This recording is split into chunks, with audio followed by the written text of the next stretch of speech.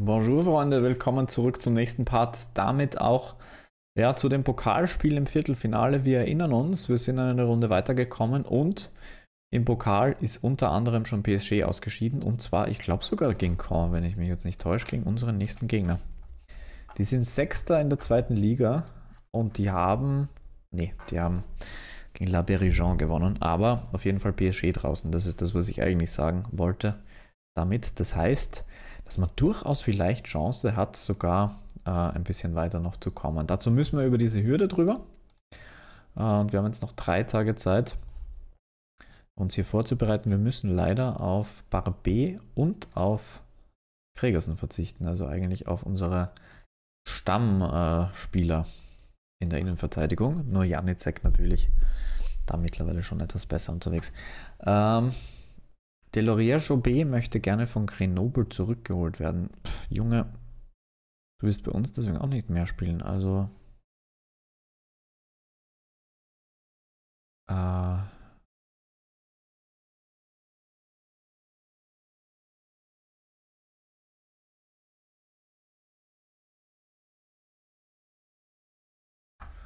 ja, Junge, du hast da unterschrieben. Du wirst es überleben.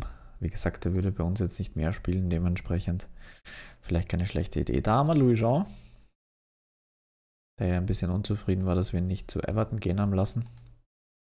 Ähm, ja. Kann ich ja eh auch in gewisser Art und Weise verstehen.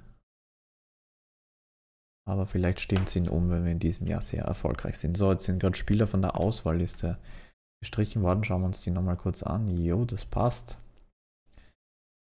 Ah, ich liebe den Namen. Das ist eigentlich ein gutes Talent. Ich würde den ehrlich gesagt auf der Auswahlliste lassen. 19 Jahre jung. Ganz in Ordnung, finde ich. So, viele Zuschauer erwartet. 14.000 für das, äh, 34.000 für das Pokalviertelfinale. Und so, wen macht man nicht verfügbar? Also, wen machen wir verfügbar? Für die zweite Mannschaft fürs Testspiel Depuiso und Stracek. Ähm, und Grüner kann im nächsten. Wobei ist das nicht so ein ganz. Ja, der ist 16, den machen wir immer nur für die 19 verfügbar. Die spielt er auch regelmäßig. Halbfinale im Pokal, die Auslosung. Überspringen wir. Also wir würden treffen auf Trommelwirbel.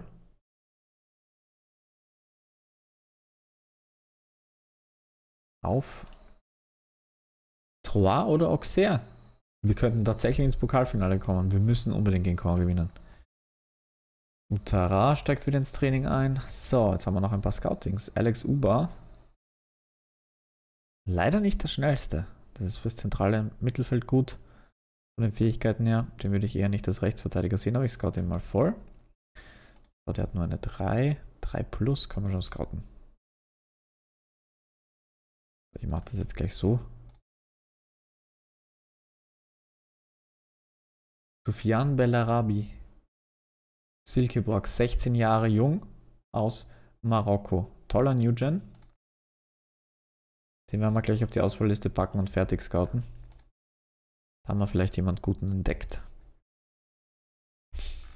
So, Stracek nicht verfügbar, der war jetzt in der zweiten Mannschaft aktiv. Und dann haben wir jetzt eben die Situation Barbe und Gregersen verletzt.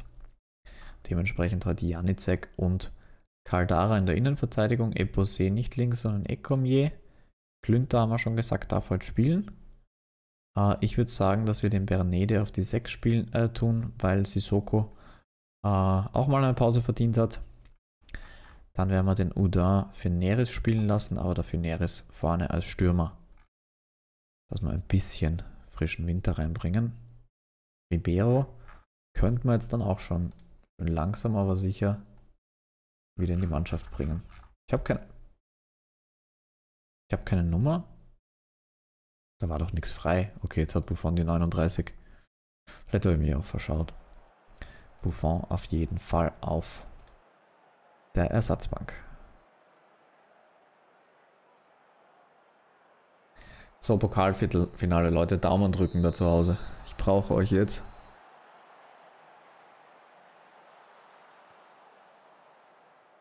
Ah, der Pass von Bernede ein bisschen zu weit.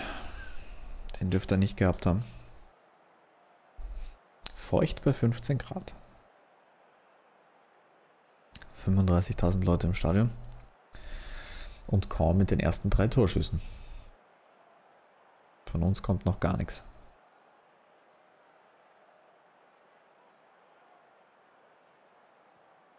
Berenede jetzt auf Elise. Ecomier. Ignatenko, kein schlechter Versuch. Kopfball aus der Entfernung war nicht so schlecht platziert. Aber halt natürlich dann im Endeffekt nicht gut genug. Neres behauptet sich hier gut im Kopfballduell, aber der Pass von Udar nicht gut. Und das Nachsetzen nicht ganz erfolgreich. Irgendwie beginnt Korn stärker als erwartet. Das kann ja nicht sein. Neres mit dem Seitenwechsel, Udar. Ignatenko, wieder Udar. Und da ist Ignatenko. Pablo Neres bekommt den Assist, gut geschrieben im Endeffekt, glaube ich, wollte den einfach selber machen. Und wir gehen mit 1-0 in Führung. Verdient würde ich jetzt nicht, mehr, nicht sagen. Da sehen wir Uda. Ja, also Neres wollte einfach schießen. Aber er bekommt den Assist gewertet. Das ist gut für sein Selbstvertrauen und die Form, würde ich mal sagen. Also alles in Ordnung. So, Ignatenko mit dem starken Pass in die Tiefe. Uda, da ist Elise, aber der Ball kommt nicht präzise genug. Ecomier mit der Flanke.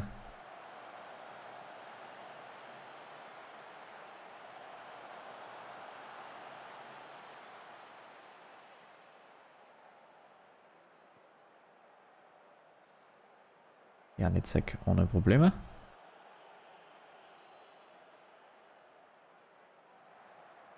Elise.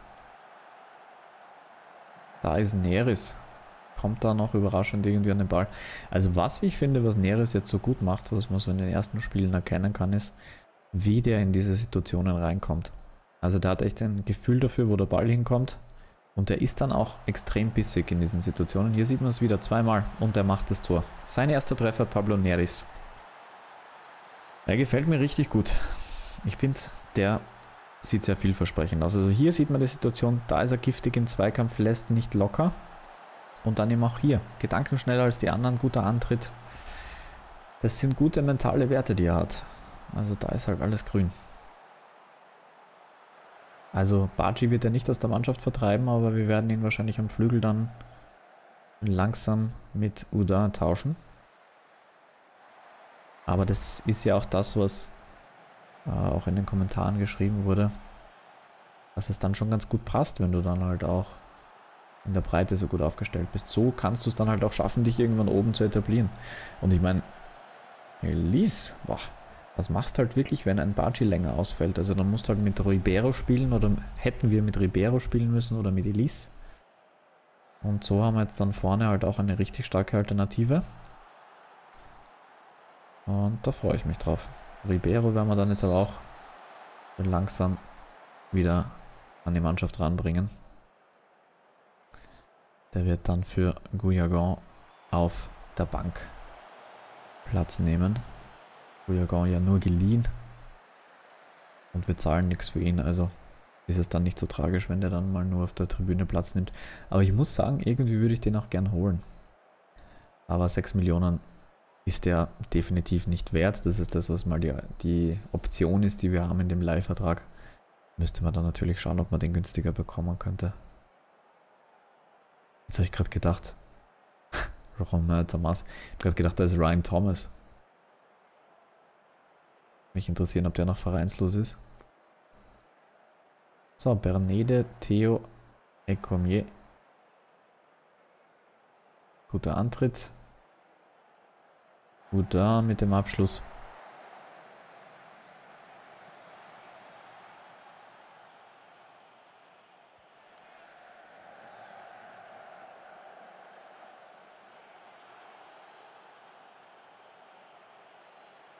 Neres Elise 3-0.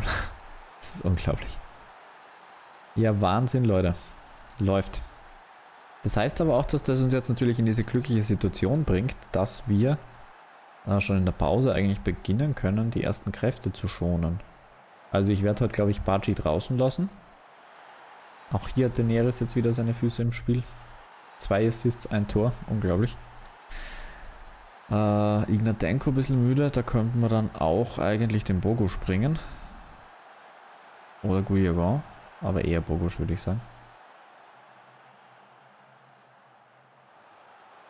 Boah, das haben sie gut gespielt. War aber abseits.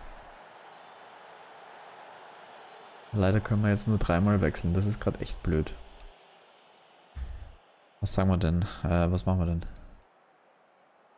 Bernede nicht wirklich gut, 6,6. Äh, wer ist denn müde? Ignatenko hauptsächlich. Dann bringen wir da gleich mal den Bogusch. Und dann wechseln wir ein bisschen später dann weiter durch. Also ich könnte mir vorstellen, dass wir den Janicek rausnehmen, weil bei dem ist die Belastung momentan, glaube ich, recht hoch. Und...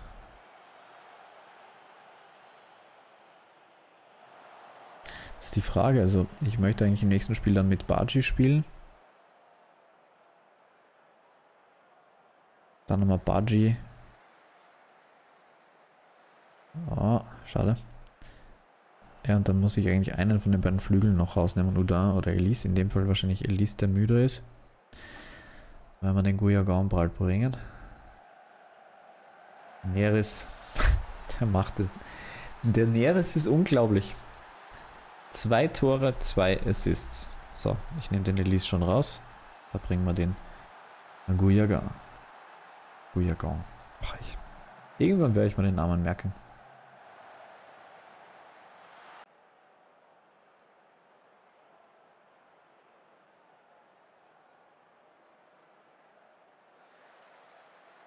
Mondida nicht im Abseits. War zwar verdächtig, aber nicht wirklich dann. Und ein kleiner harmloser Abschluss von Stade Caen. Was sehen wir sonst? Auxerre, Rennes und Marseille momentan in Führung. Das heißt jetzt keine großen Überraschungen. Marseille hat aber gerade den Ausgleich kassiert. Schauen wir mal.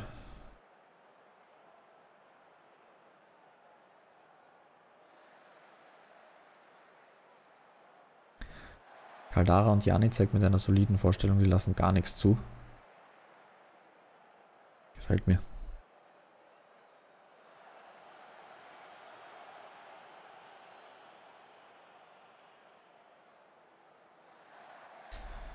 Bogusch mit dem Pass zurück auf Caldara. Janicek. Ekonje mit dem super Seitenwechsel. Da ist Uda, da ist Neris, da ist Bogusch, da ist das 5 zu 0. Also die ersten 10 Minuten war ich wirklich nervös, muss ich wirklich zugeben. Ich habe mir echt gedacht, okay, was ist denn da jetzt los? Aber jetzt geht's eigentlich. Ich nehme, mach, ich mache jetzt schon den letzten Wechsel, auch wenn es ein bisschen früh ist. Aber ich möchte dem Janicek noch eine Pause geben, weil der wird auch schon müde und den brauchen wir auch im nächsten Spiel. Denn wir dürfen nicht vergessen, dass wir jetzt dann gegen Stade Rennes spielen, die auf Platz 2 sind in der Liga. Boah. rote Karte. Da war viel Frust dabei. Heftiges Einsteigen.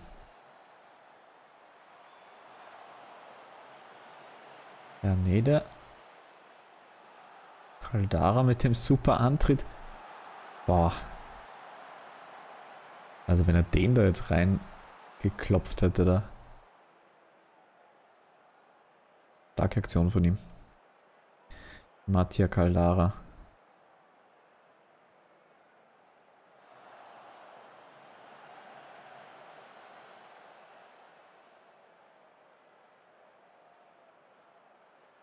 Hier aufpassen.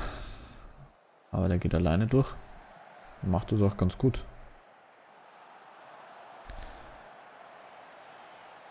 So. Sonst irgendwas Aufregendes? Schaut nicht so aus. Das heißt, wir würden jetzt auf Auxerre treffen, genau, ja. Und das heißt dann Stade Rennes gegen Olympique Marseille, eventuell. Schauen wir mal. Da bin ich mal gespannt. Aber wir haben echt die Chance ins Pokalfinale einzuziehen. Das ist schon heftig. Also, dass der PSG gepatzt hat, das spielt uns jetzt natürlich super in die Karten. Äh, Ähm, Lyon auch schon nicht mehr dabei. Monaco nicht dabei. Also von den Großen eigentlich nur Marseille. Und theoretisch kann man Start Render auch dazu ziehen, weil die halt einfach so gut performen im Moment. Boah, Theo ist K.O.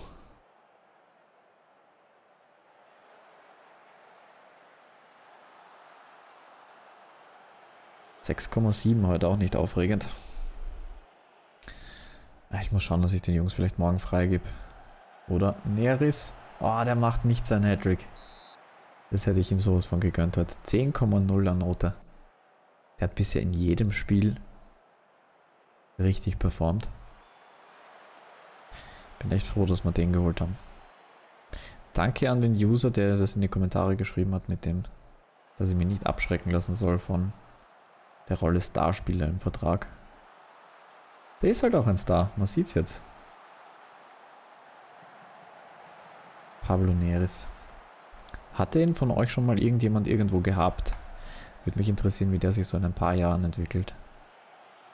Mir kommt der so bekannt vor, aber ich glaube nicht, dass ich den jemals irgendwo gehabt habe. Es kann natürlich sein, dass ich den bei irgendeinem Safe Game mal gesehen habe. Aber da sehe ich halt doch recht viele Spieler.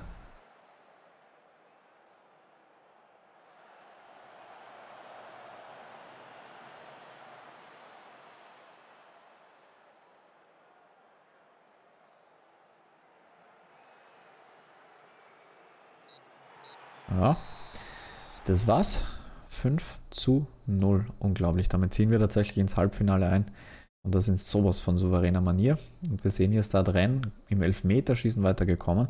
Uh, das ist gut. Die sind vielleicht müde. Schauen wir mal. Neres brilliert. Boah. Pablo Neres.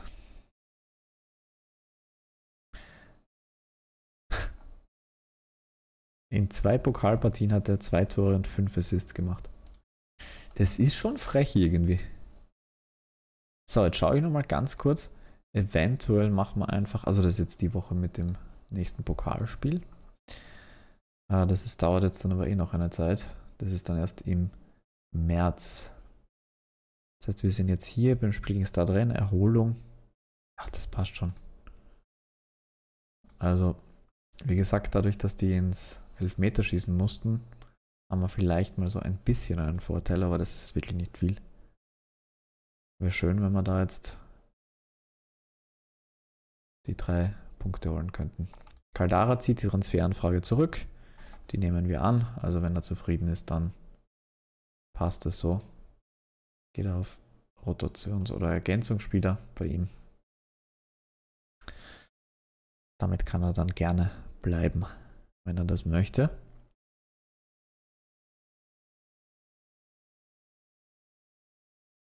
Der wollte ja eigentlich auf Leihbasis weg, dann wollte er ganz weg. Und jetzt bleibt er. So, Tabellenvierter gegen Tabellenzweiter. Die üblichen Verdächtigen trainieren schon wieder gut.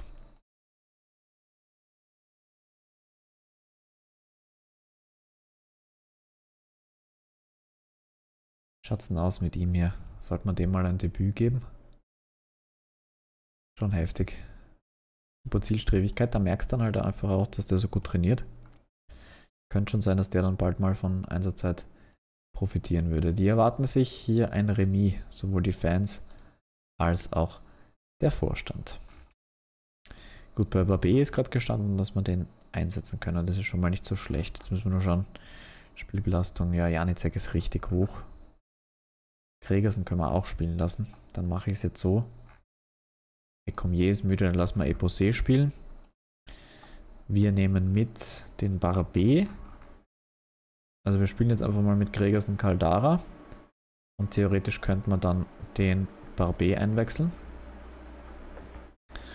Ja, Spielbelastung ist überall hoch, aber da haben wir eh schon ein bisschen rotiert. Also Sissoko rein. Theo ist leider K.O. Da ist jetzt die Frage, Guyagan Spielmacher? Ich würde sagen, ja. Ich würde sagen, wir geben dem heute die Chance in diesem wichtigen Spiel. Ähm, Uda, Elise, Neris. Da kommt jetzt natürlich Baji rein. Jetzt ist die Frage, über welche Seite spielen wir mit, mit Neris. Der ist ja überall gut. Ich lasse den rechts. Jetzt haben wir wieder auf Raumdeuter gespielt. Ich habe komplett vergessen, das umzustellen, habe ich gerade gemerkt. Ich lasse den rechts als Flügelspieler spielen. So. Dann haben wir Ignatenko, den haben wir eh ausgewechselt. Also ich glaube, dass das geht. Bogus Bernede. Theo werden wir unten lassen, weil der ist zu müde. Dann nehmen wir den Ribeiro wieder mit. Stracek wieder für Buffon auf der Bank. Der Rest sind ja größtenteils die Jungen, beziehungsweise die Jungen und die Müden. Ah, ich kann ja noch zwei mehr auswählen. Ich bin ein Idiot. Dann nehmen wir den Janicek noch mit. Und den. Ne, den Theo nicht, aber den Cousin. Das ist der, der so gut trainiert hat. So. Ja, es ist schon heftig gegen so einen starken Gegner jetzt, gegen den Tabellenzweiten. Wenn ich mich nicht täusche, haben wir uns da auch im ersten Spiel gegen sie geplagt oder es sogar verloren. Schauen wir mal, wie Neres jetzt wieder rechts als Flügelspieler performt. Ich hätte ihn ja echt lieber im Zentrum oder links außen nach innen ziehen, aber heute brauchen wir ihn da. Also.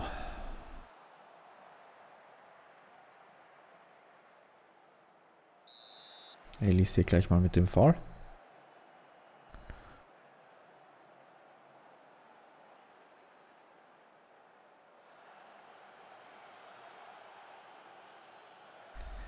Da haben wir schon Pablo Neres. Die Flanke ist gut, da ist Baji. Keine schlechte Offensivaktion. Gut von Neres vorbereitet.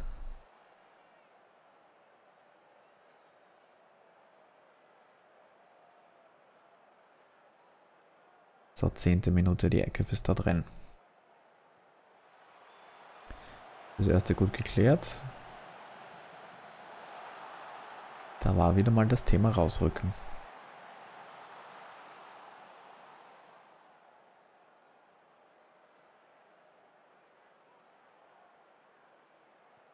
Eposé mit dem Pass in die Tiefe, der ist gut. Elise zieht nach innen. Eieiei.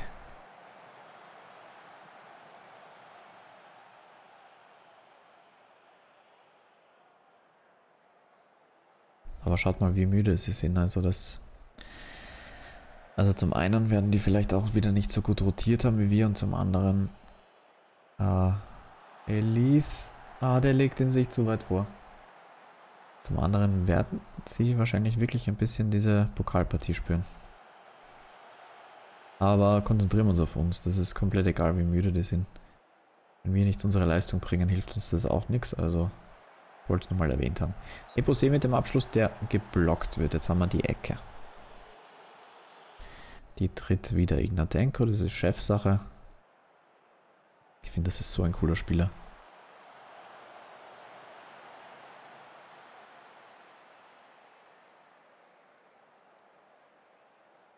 Chefsache ist gut gesagt, Führungsqualitäten 8.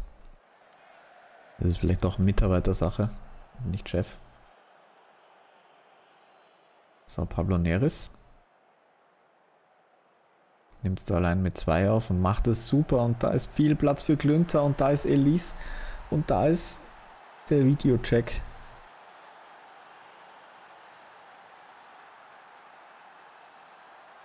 Das Tor zählt. Glünter mit der Vorbereitung und Elise per Kopf. Aber wie stark hat es Neres da gegen die zwei gemacht und dadurch hatte Klünter, der einen super Laufweg macht, auch den Platz. Na Wahnsinn, Leute. Das ist richtig schön anzuschauen im Moment.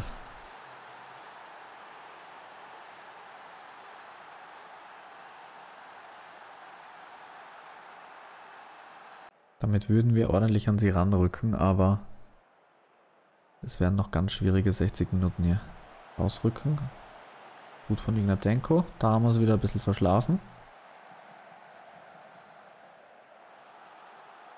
Aber geblockt. Boah, ich bin so nervös.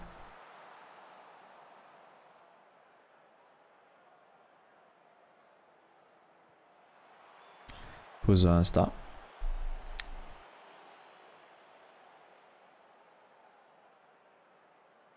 Ach, seid ihr müde.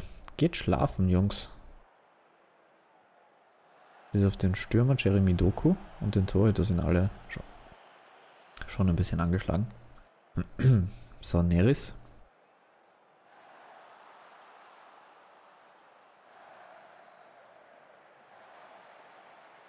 Pass war super. Ach, Neris ist ein Traum.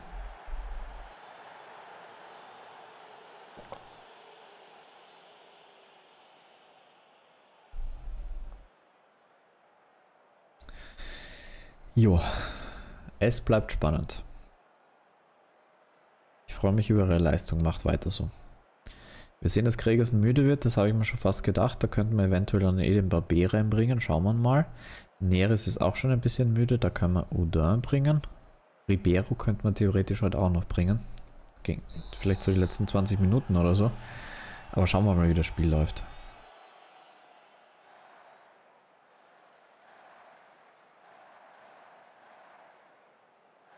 So, Caldara, Guyagon, der auch unauffällig ist heute, 6,9. Noten her absolut in Ordnung.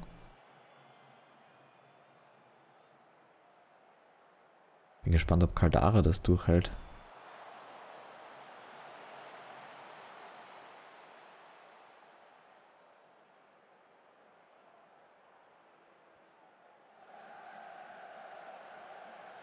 Ja, Im Worst Case haben wir zwei Innenverteidiger auf der Bank. Und Eposé kann auch noch innen spielen, also wird schon passen. So, da haben wir wieder Pablo Neres. So ein Bordeaux-Trikot mit der 11 und seinem Namen drauf wäre schon cool. Vielleicht gönne ich mir das am Ende der Saison. Ich habe ja immer wieder mal geschaut, ob da jetzt schon was im Sale ist, aber im Moment war glaube ich nichts. Beziehungsweise der Sale war einfach trotzdem zu wenig und zu noch immer zu teuer. Kauft ihr euch oft Trikots? Bei mir ist es meist so, also ich bringe jetzt mal äh, Barbier für Caldara, äh, für Gregersen. Bei mir ist es meist so, wenn ich irgendwo eben bin, dass ich da irgendwie dann ein Trikot kaufe. Baji heute nicht gut, aber dafür ist er auch nicht müde. Hm. Lass mal ihn drin. Baji ist immer gefährlich. Ich weiß gar nicht, was das letzte Trikot ist, das ich gekauft habe. Doku. Also Southampton Ne, ich glaube, das ist das Österreich-Trikot, das hinter mir hängt sogar. Aber das habe ich auch massiv im Sale gekauft. Ich kann es gar nicht sagen. Aber ich, ich spiele selbst äh, viel zu wenig Fußball, als dass ich es dann anziehen würde. Weil so zum normalen Sport machen ziehe ich eigentlich kein Fußballtrikot an. Da habe ich dann meistens einfach irgendwelche einfärbigen Sportshirts.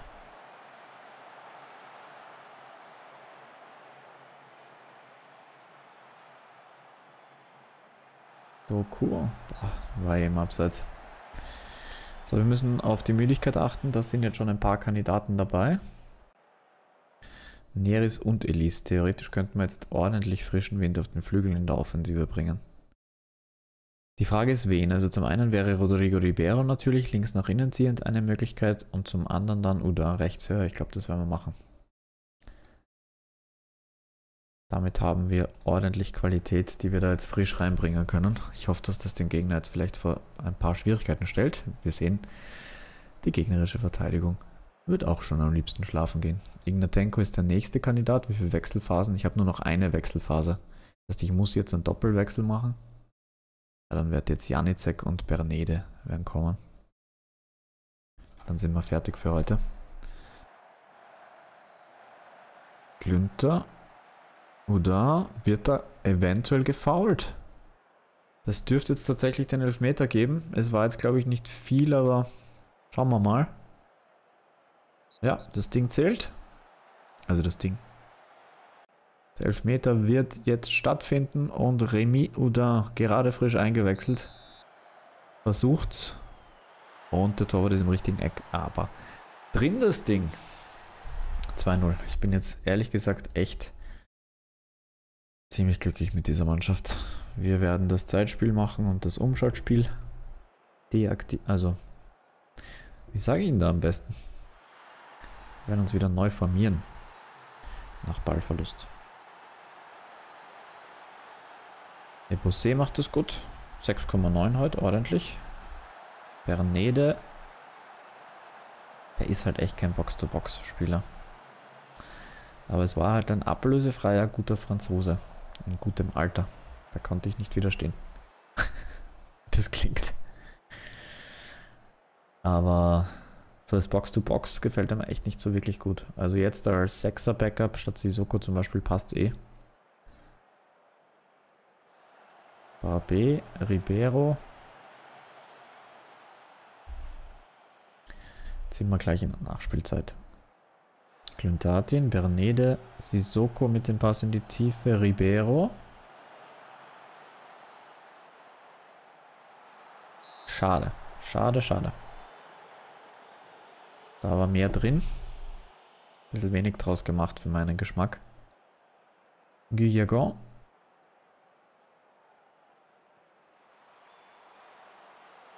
Aber ein bisschen Samba. Bryce Samba. Fängt ihn gut ab. So, der erste ist gut geklärt. Aufpassen auf den Rückraum vor dem Strafraum. Und da ist Doku und da ist das 1 zu 2. Nein, Schwan. Barbe mit dem Eigentor. Das ist bitter. Schauen wir es uns nochmal an. Apropos, da habe ich es ja schon gesagt, aber jetzt hat man es da in der Situation nochmal gut gesehen, wie langsam sie rausgelaufen sind. Also, ja. Es ist bitter. Ich würde es Barbe jetzt nicht vorwerfen, um ehrlich zu sein. Ärgerlich ist es, Sobaji behaupte ihn. Zieht das. Aber schaut euch an, wie schön der Ball da läuft und das war's. Wir gewinnen auch dieses Spiel hier. Wir gewinnen 2 zu 1 im Spitzenspiel gegen Stadren. Ich bin so begeistert von dieser Mannschaft. Es ist unglaublich. Das ist der Wahnsinn. Wir sind auf Platz 4, wir sind ganz knapp dran an Stadren.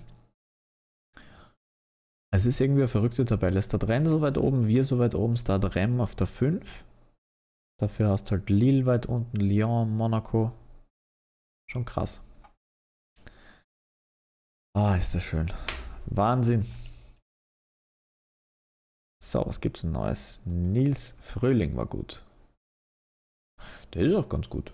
23-jähriger Schwede. Scout-Bericht sagt auch, der ist gut. Ich packe den mal auf die Auswahlliste fürs nächste, für die nächsten sechs Okay, fürs nächste Jahr. so. Was haben wir hier? Ja, Kaspar Dahlberg hat unglaublich Interesse zu uns zu kommen. Diallo wäre halt so spannend, wenn er nicht so teuer wäre vom Gehalt her. Aber da kann man nur warten, ob da vielleicht der Vertrag dann so mal ausläuft, dass wir ihn kriegen können. Ja, Gibt es jetzt natürlich einige Spieler hier. So, schauen wir mal weiter bei unseren New Gen Scoutings. Ricardo Segovia. Schlechte Zielstrebigkeit. So, Marcos Pacheco. Es ist Wahnsinn, wie viele Flügelspieler oder wie viele Außenverteidiger ähm, rauskommen, die einfach so langsam sind. Aber das ist für mich dann auch so ein klassischer Innenverteidiger. 1,83 ist eine ordentliche Größe für einen 16-Jährigen, er ist beidbeinig, er hat eine gute Kopfballtechnik, super Zielstrebigkeit. Ich mag den eigentlich. Packen wir mal auf die Auswahlliste. Juan Martin Rojas. Auswahlliste. Federico Vaca. Er schlägt sich wacker, aber ich glaube, das wird nichts. Er hat Interesse an Conte. Ja, konnte sein, dass da Bewegung reinkommt.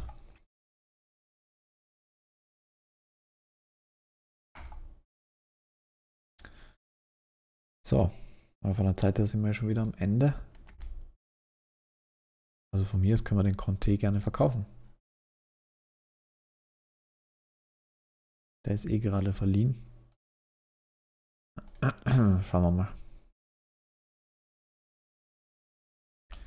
Ah, sie wollen kein Angebot abgeben. Also sie hätten ihn gern, aber sie möchten nicht. Verstehe. So, Barbe braucht Spielpraxis und ist müde. Super Kombi. Ribeiro braucht Spielpraxis. Utara theoretisch auch. Den machen wir mal verfügbar. Also U19. Ist das, oder? Ja. Egal. Bei der U19 hätte ich gleich auf immer verfügbar gehen können. Gut, dann würde ich sagen, lassen wir es jetzt gut sein. Vielen, vielen Dank fürs Einschalten. Das war ein richtig geiler Part. Und wenn man da so reinschaut, mit der, ja, wenn man die Niederlage gegen PSG mal äh, außen vor nimmt, dann läuft es einfach richtig gut. Es macht richtig Spaß mit Bordeaux. und mit euch. Vielen Dank fürs Einschalten. Im nächsten Part Montpellier und Nizza. Danke. Ciao.